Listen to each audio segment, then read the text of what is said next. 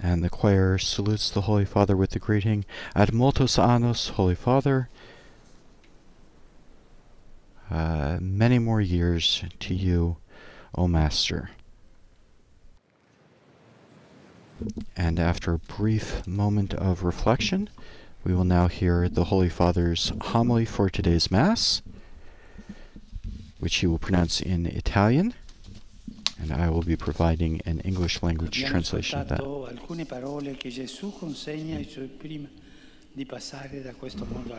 We have heard what Jesus told his disciples before leaving this world and returning to the Father. He told us what it means to be a Christian. ho amato voi, Even as I have loved you, so you must love one another. altri. Questo è il testamento This is the legacy that Christ bequeathed to us, criterio fondamentale per the ultimate criterion for discerning davvero suoi discepoli whether or not we are truly his disciples. It is the commandment of love. Fermiamoci sui due elementi Let us pause to consider two essential elements of this commandment Jesus' love for come io ho us, as I have loved you, che lui ci chiede di vivere. and the love he asks us to show to others. So you must love one another. Come io ho amato voi, First of all, the words, as I have loved you. How did Jesus love us? To the very end, to the total gift of himself. vedere che pronuncia queste parole It's striking to think that he spoke these words on that night of darkness, il clima che si respira nel cenacolo when the atmosphere in the upper room was one of deep emotion and anxiety. il maestro sta per dare Deep emotion because the Master was about to bid farewell to his disciples. Anxiety because he had said that one of them would betray him. We can imagine the sorrow that filled the heart of Jesus, the dark clouds that were gathering in the hearts of the apostles, and their bitterness at seeing Judas, who, after re- receiving the morsel dipped for him by the Master, left the room to enter into the night of betrayal. Yet at the very hour of his betrayal, Jesus reaffirmed his love for his own. proprio nell'ora del tradimento Gesù conferma l'amore per i suoi, perché nelle tenebre nelle tempeste For amid the darkness and tempests of life, that is the most important thing of all. God loves us. Fratelli, sorelle, che questo annuncio sia Brothers and sisters, may this message be the core of our own faith and all the ways in which we express it. Dio, ma è Lui Not that we loved. God, but that He loved us. Let us never forget this. Al centro non ci sono la nostra Our abilities and our merits are not the central thing, Al centro c'è l'amore but rather the unconditional, free, and unmerited love of God. Our Christian lives begin not with doctrine and good works, but with the amazement born of realizing that we are loved prima di ogni prior to any response on our part. Mentre il mondo vuole spesso While the world frequently tries to convince us that we are valued only for what we can produce, risultati, il Vangelo ci ricorda the gospel reminds us of the real truth of life. We are Questo è il loved, and this is our value. We are loved. Così ha scritto un maestro spirituale del nostro tempo. A contemporary spiritual writer put it this way Long before any human being saw us, we were seen by God's loving eyes. Long before anyone Long before anyone heard us cry or laugh, we were heard by our God, who is all ears for us. Long before any person spoke to us in this world, we were spoken to by the voice of eternal love. He loved us first. He loves us, and He continues to love us. And this is our den- this is our identity to be loved by God. This is our strength that we are loved by God. Verità ci chiede una conversione sull'idea che spesso Acknowledging this truth requires a conversion in the way we often think of holiness. Insistendo troppo sul At times, by overemphasizing our own efforts to do good works, un ideale di santità we've created an ideal of holiness basso di noi, excessively based on ourselves, our personal heroics, our capacity for renunciation, our readiness for self sacrifice, and achieving a, a reward. Visione dalle volte troppo pelagiana della vita. It's a, a vision that's a little bit Pelagian, this view of sanctity. santità una meta In this way, we have turned holiness into an separato la vita di unattainable goal. We have separated it from everyday life instead of looking for it and embracing it in our daily routines, strada, nei travagli in the dusts of the street, in the trials of real life, and in the words of St. Teresa of Avila to her sisters, among the pots and pans in the kitchen. Discepoli di Gesù Being disciples of sulla via di Jesus and advancing on the path of holiness means first and foremost dalla potenza del allowing ourselves to be transfigured by the power of God's love. Let us never forget the primacy of God over self, of God over self, of the Spirit over the flesh, of grace over works. Tale volte noi diamo più, peso, più importanza all'io, alla carne e alle opere. No, primato, We often think of ourselves first. primato dello spirito sulla carne, primato della grazia sulle opere. L'amore che riceviamo dal Signore è la The love that we receive from the Lord is the force that transforms our lives. It opens our hearts and enables us to love. For this reason, Jesus says, here's the second element, As I have loved you, so you must love one another. That word as is not simply an invitation to imitate Jesus' love. It tells us that we are able to love only because He has loved us, because He pours into our hearts His own Spirit, the Spirit of holiness, of love that heals and transforms. As a result, we can make decisions and perform works of love in every situation and for every brother and sister whom we meet. Because we are because we are loved, we have the strength to love. Because God loves us, I can love.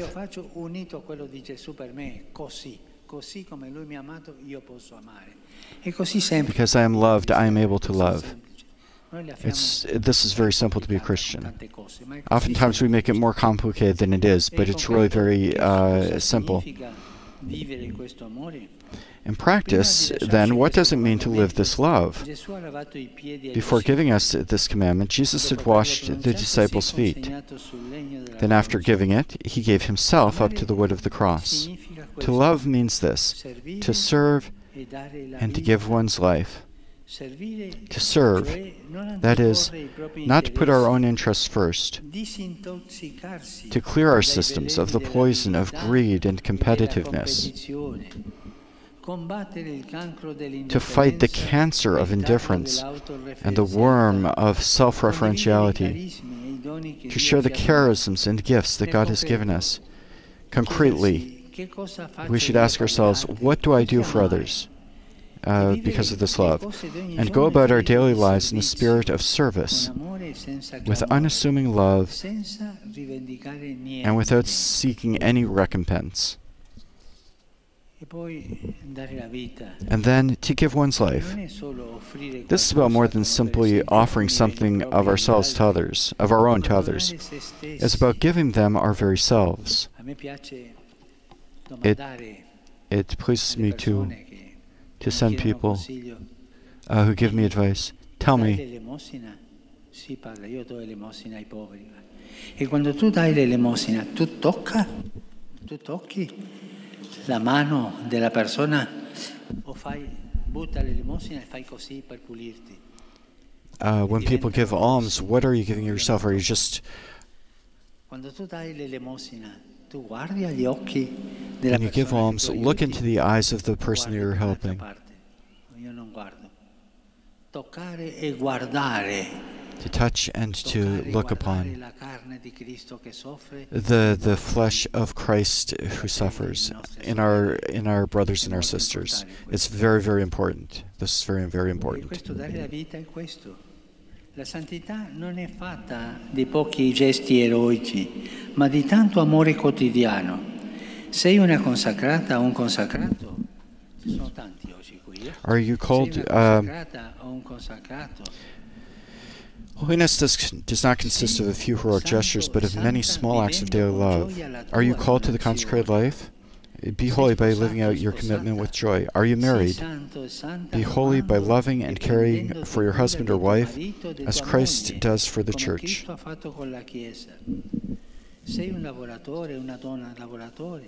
Uh, do you work for a living? Be holy by laboring with integrity and skill in the service of your brothers and sisters.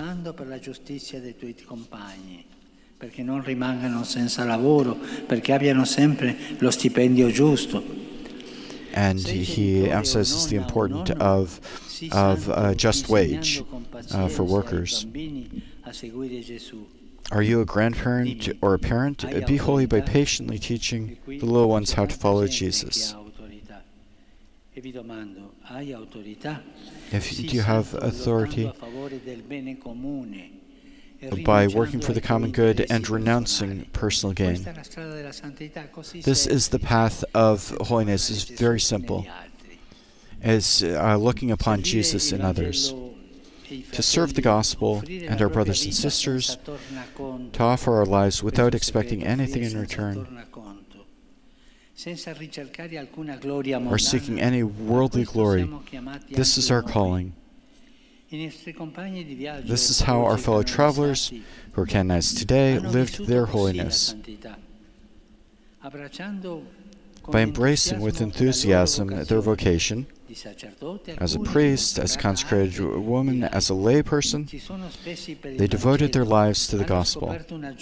They discovered an incomparable joy, and they became brilliant reflections of the Lord of history. This is a saint or uh, a sainted man or woman to, re to reflect uh, the Lord of history. May we strive to do the same. The call to holiness is universal, it is a call to all of us. It comes from baptism. May we strive to do the same, for each of us is called to holiness, to a form of holiness all of our own, unrepeatable. Uh, holiness is always original. Sanctity is not a photocopy, it's original to each of us. It's unique and unrepeatable. Yes, the Lord has a plan of love for everyone, for each one of us. He has a dream for your life, for my life, for the life of each one of us. So I tell you, uh, pursue that dream with joy. And thank you very much.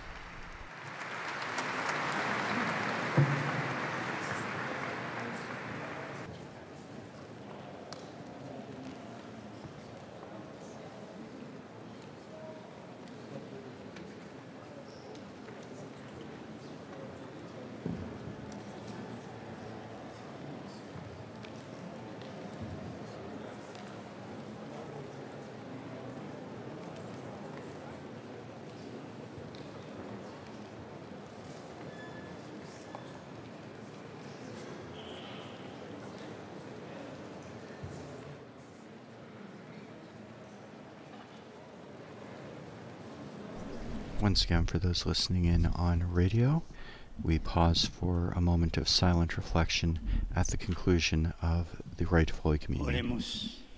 Let us pray. Graciously be present to your people, we pray, O Lord, and lead, lead those you have imbued with heavenly mysteries to pass from former ways to newness of life.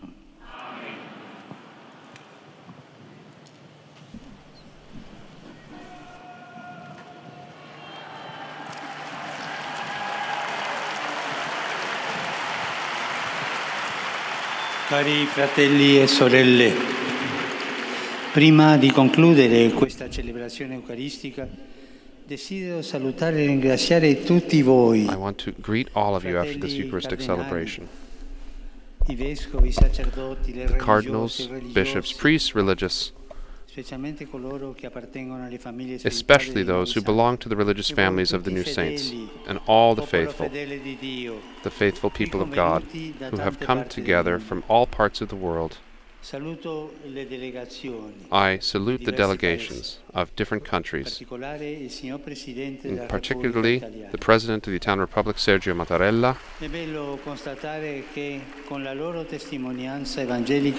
È bello constatare che con la loro testimonianza evangelica questi santi hanno favorito With- la crescita spirituale e sociale With their evangelical testimony, they, they have contributed to our spiritual growth, also the entire human family. While sadly, le distanze, in the world, distance grows, le guerre. and the wars. I nuovi santi The na- ispirino soluzioni the- di the saints via di dialogo, specialmente have especially cuore nella has mente emphasized the way of dialogue. ricoprono incarichi di grande responsabilità They were charged with grave sono chiamati ad responsibilities. essere protagonista di pace. They were called to be protagonists of peace. Saluto tutti voi, cari pellegrini, come puri quanti I greet all seguito questa messa the pilgrims who have participated in this ma- uh, Mass in all methods of ci rivolgiamo alla communication. We praise the Virgin Mary and with the with these with all of these new saints.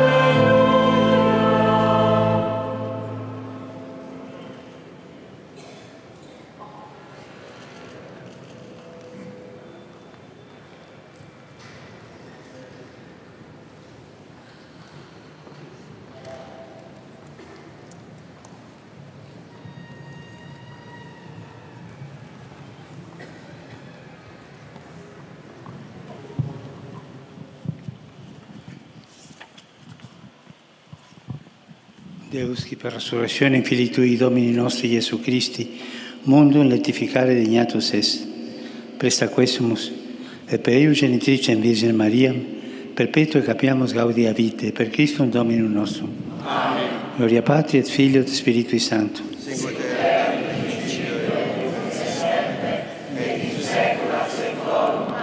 Gloria Patri et Filio et Spiritui Sancto.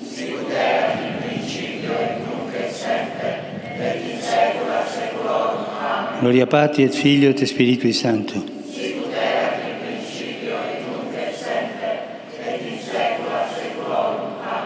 Pro fidelibus defuntis, requiem aeternam dona eis Domine. Requiescant in pace. The Holy Father will now give his apostolic blessing.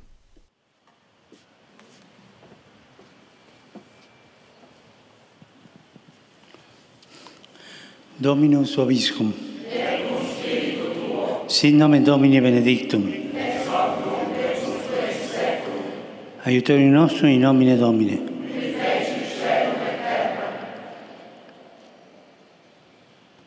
Benedicat vos omnipotens Deus, Pater, et Filius, et Spiritus Sanctus.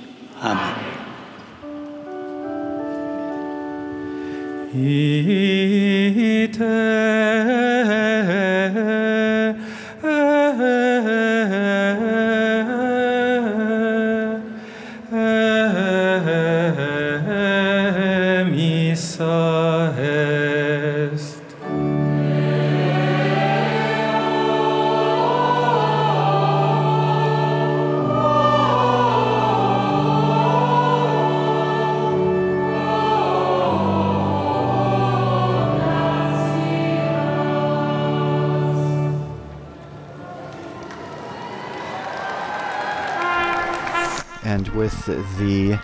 Pope's apostolic blessing and the deacon's dismissal, the Itium Est, today's liturgical celebration of the Holy Sacrifice of the Mass with the rite of canonization draws to a close. With the trumpet fanfare as the Pope processes from the altar. I would like to take this opportunity to thank all of our partner stations who have helped make this broadcast available around the world, especially Salt and Light TV, Catholic TV, Catholic Faith Network, Radio Maria Papua New Guinea, Shalom World Television Networks USA, EWTN TV, Shalom TV India, Atmadarshan TV in India, Sunday Shalom, and Luminous Radio India. Thanks to to Dr. Donald Prudlo. Thank you, Dr. Prudlo, for joining me this morning and for sharing your expertise and insight with us for this broadcast. Thank you, Christopher. Uh, this is our 12th year of doing this together, and I'm very grateful to be back here doing it again and always a great honor and pleasure to have you here in the studio with us. I'd like to thank, too, our producers and technicians here in the studio who uh, make these broadcasts possible. Uh, their expertise allows us to uh, bring the Holy Father's liturgies and his words to all of you, so thanks very much to them. And thanks to all of you for joining us this morning for full coverage of today's homily and the Mass and the canonizations. Along with other Vatican and world news, we do invite you to visit our Vatican News web portal, as well as our Facebook, Instagram, Twitter, and YouTube Vatican News English section accounts. My name is Christopher Wells. And I'm Donald Prudlo, and it has been a pleasure providing the English language translation and commentary for today's Mass and Rite of Canonization. And this concludes our live streamed broadcast of today's liturgy. Praise be Jesus Christ. Laudetur Jesus Christus.